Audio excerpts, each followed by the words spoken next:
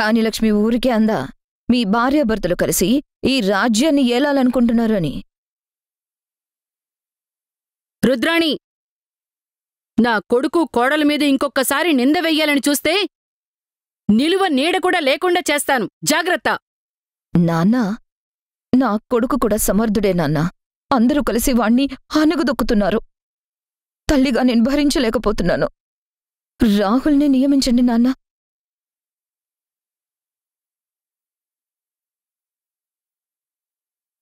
సరే చూద్దాం.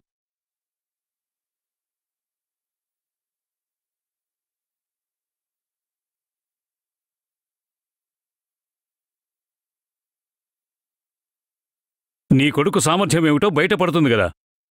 వాడన్నీ మానేసి బుద్ధిగా బాధ్యతగా పని చేసుకుంటే వాడు బాగుపడతాడు.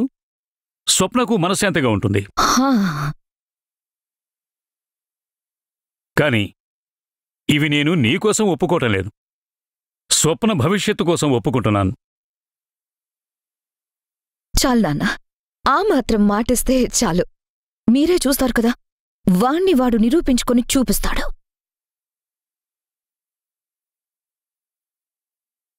చాలా నీ కడుపు మంట చల్లారిందా? ఆస్తులు ఆత్మీయతను కూడా మింగేస్తాయని నిన్ను చూస్తేనే అర్థమవుతుంది. కన్న కొడుకు కోసం కొడుకులా చూసుకున్న రాజును కూడా వాడి స్థానం నుంచి తప్పించావు.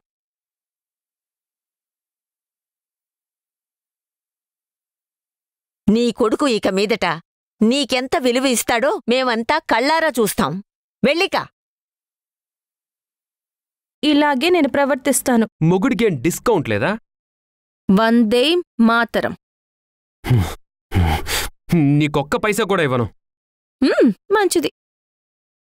నేను ఈ టీ కప్లో తుఫాను కిందకెళ్ళి పొట్టిస్తాను. ఆగు! ఏంటే? చెలికెత్తే పూల ప్లేట్ పట్టుకొని తిప్పుకుంటూ వెళ్ళినట్టు అలా వెళ్తున్నావు? చక్రం తిప్పడానికి వెళ్తున్నాను. అంత లేదు. నీకు కావాల్సింది డబ్బులే కదా. నేను ఇస్తాను ఇటు ఇవ్వు. తండి ముందు. ఏం కర్మరా బాబు? టీ పొడి నాది పాలు నావి షుగర్ నాది. ఏంటి? మీరు పాలిస్తారా? ఒక్కటిస్తా. వందేగా? ఒక్కటి చాలు. ఇవ్వండి.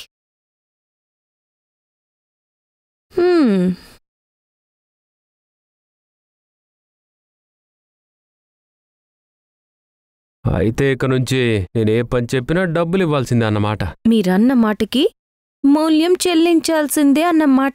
వదిన మాట ఏం కాదు. కాదు. ఆగు. యాభై. దేనికి? ఆగినందుకు? పళ్ళు రాల్తాయి. ఐదు వేలు పళ్ళ సట్టికి.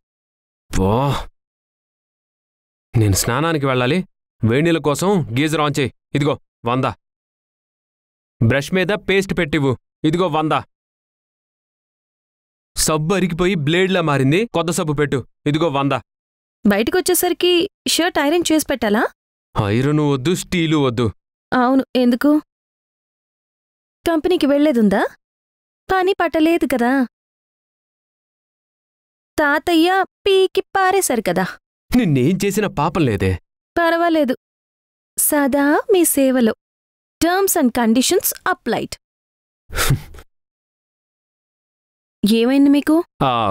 నాకేమైంది? చాలా బాగున్నాను. నిజం చెప్పాలంటే చాలా ఉత్సాహంగా కూడా ఉన్నాను. అయ్యయ్యో ఈయనకేదో జరిగింది. వెంటనే డాక్టర్కి ఫోన్ చేయాలి! ఇప్పుడు డాక్టర్ ఎందుకు? లేదండి మీకేదో అయింది. లేకపోతే ఇంత సంతోషంగా ఎందుకుంటారు? నువ్వేమీ అంత ఆశపడాల్సిన అవసరం ఏమీ లేదు.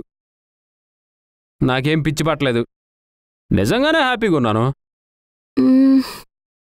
మీ తమ్ముడు ఇంట్లో నుంచి వెళ్ళిపోయినప్పటి నుంచి మీ మొహం కోపానికి కేర్ ఆఫ్ అడ్రస్గా మారిపోయింది. సడన్గా ఇప్పుడు సంతోషం అంటే నా డౌట్లు నాకొస్తాయి కదా? నువ్వేమెంత ఎటకారంగా మాట్లాడినా నా సంతోషాన్ని మాత్రం దూరం చేయలేవు. కారణం ఏంటో చెప్తే మేం కూడా సంతోషిస్తాం కదా? నా తమ్ముడి ఇంటికి రాడు అని చెప్పావు కదా? ఇప్పుడు వాళ్ళని శాశ్వతంగా తీసుకొచ్చే అవకాశం నాకు దొరికింది. ఏంటో అది? ఎల్లుండి. ఎల్లుండి వరలక్ష్మి వ్రతంకి కళ్యాణప్పుని ఇద్దరిని పిలుస్తున్నాం అన్న విషయం దీనికి ఇప్పుడే చెప్పేస్తే వాళ్ళని రానికుండా ఏదో ఒకటి చేసి అడ్డుపడుతుంది. అసలే కళ్యాణ్ వాళ్ళు ఇక్కడికి రావటం దీనికి అస్సలు ఇష్టం లేదు. ఎల్లుండి అని స్టార్ట్ చేసి సిగ్నల్ లేని వీడియోలా అలా స్ట్రక్ అయిపోయారేంటి? ఏంటో చెప్పండి. చెప్పను. ఎందుకో? చెప్తే నువ్వు చెడగొడతావు కదా? నేనేమీ మీ రుద్రాని అత్తయ్యని కాదు. చెప్తే చెడగొట్టడానికి. నువ్వు కూడా ఇప్పుడు అలాగే తయారయ్యావే. ఒకప్పుడు మంచి కళావతివి. మరిప్పుడేంటో? కచ్చి కళావతివి. నేను వాళ్ళని ఇంటికి తీసుకొచ్చే వరకు నీకేమి చెప్పను. అంతే. నేను చచ్చిన ఆ పని చేయనక్క. నా వల్ల కాదు. వాళ్ళు నీ కొడుకు కోడలే. కాదని అనలేదు.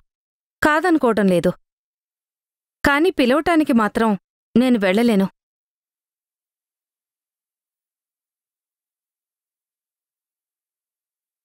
అయితే వరలక్ష్మి వ్రతం జరగదన్నమాట. ఎందుకులేండి లేనిపోని గొడవలు? ఎక్కడి వాళ్ళక్కడుంటేనే హాయిగా ఉంటుంది.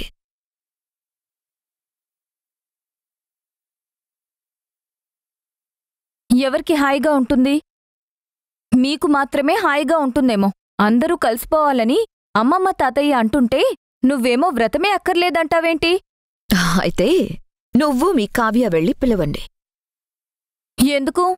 నువ్వు ధాన్యలక్ష్మి ఆంటీ కలిసి జీవితాంతం మా మీద దుమ్మెత్తిపోద్దామనా? మీకా అవకాశం మేం చచ్చినా ఇవ్వం. అంత ఉబ్బలాట పడకు. మరి ఎవరు వెళ్ళి పిలవాలి నానమ్మా మీరెవరూ వెళ్ళక్కర్లేదు.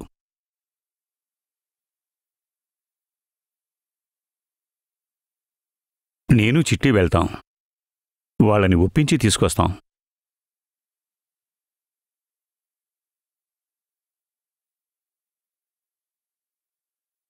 మంచి మాట చెప్పావు బావా.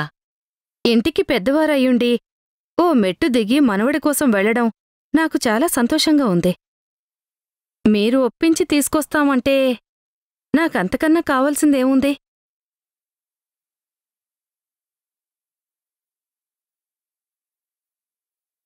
సడన్గా ధాన్యలక్ష్మి మంచితనంలో ముంచి తీసినట్టు కనిపిస్తోందేంటే ఒకరినొకరు గిల్లుకోండి చాలండి నేను మనస్ఫూర్తిగానే అన్నాను. ముగ్గురమ్మలు ఆ ఒక్క రూపంలోనే ఇంట్లోకి అడుగు పెడుతుంటే గుమ్మంలో నుంచి వెనక్కి తిప్పి పంపించడం. ఇంటికే అరిష్టం కవిగారు.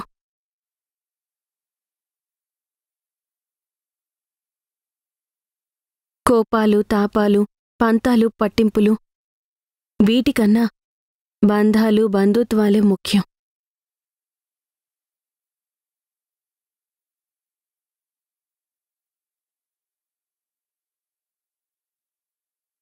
కానీ మీ చెల్లెలు పూజకొచ్చినట్టుందా? జబ్బల్లేని జాకెట్ వేసుకొని అందరి ముందు తిరిగి నువ్వు మాట్లాడుతున్నావా అత్తా? కట్టుబట్టలతో బయటకు అడుగుపెట్టిన జంట పట్టుబట్టలతో రావాలని ఎలా అనుకుంటున్నారు? దానికున్నవేవో అవి వేసుకునొచ్చింది. దుగ్గిరాల వారింట్లో చీరలకి నగలకి కొదవా? అమ్మమ్మగారు ఈ జంట కోసం కొత్త బట్టలు తీసుకొచ్చారు. అవే కట్టుకుంటారు. ముందు మీరు వాళ్ళని లోపలికి రానివ్వండి. వదినా! కవిగారు మీరు మీ భావుకత ప్రపంచం నుంచి అసలు ప్రపంచంలోకి అడుగు పెట్టారు. బయట మీ అమ్మలాంటి వాళ్ళు మీ అత్తలాంటి వాళ్ళు బోళ్ళ మంది కనపడతారు.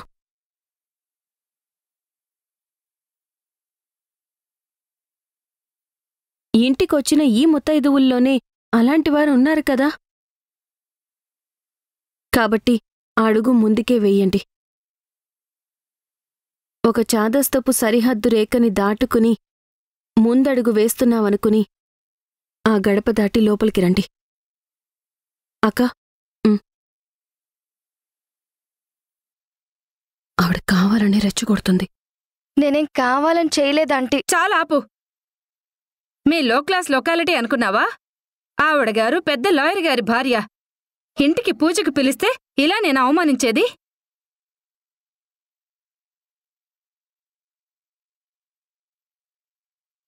నా వల్ల అక్కడ ఎలాంటి గొడవ జరగదని నేను నీకు మాటిస్తున్నాను. ఒరే కళ్యాణ్! ఆగరా. ఇప్పుడు ఏదైనా అంటే గొడవ అవుతుంది. ముందు వ్రతం సవ్యంగా పూర్తి కానివ్వరా? మంచి కోడలే దొరికింది ధాన్యలక్ష్మి. మీ ఇంటికున్న పేరు వీధిన పడేసేలా ఉంది.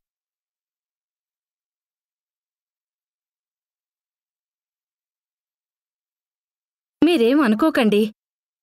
మా కళ్యాణ్ తొందరపడి ఇలాంటి దాన్ని చేసుకుని మా కొంప ముంచాడు. ఇంకా ఎన్ని దరిద్రాలు చూడాలో. అదే మాట నేను అనుకుంటున్నాను ధాన్యలక్ష్మి.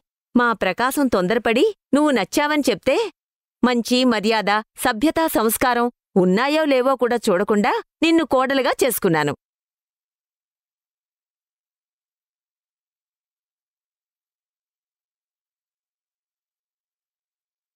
నువ్వు ఇంటి గుట్టిని పది మందికి ప్రసాదంలా పంచిపెట్టే రకమని అప్పుడు నాకు తెలీదు.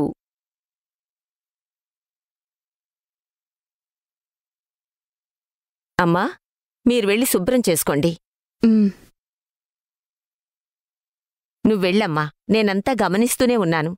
ఆవిడ గ్లాసు సరిగా పట్టుకోలేదు. మీ అత్త కళ్ళకు పొరలు కమ్మి అది కనిపించలేదురే. నువ్వెళ్ళమ్మా.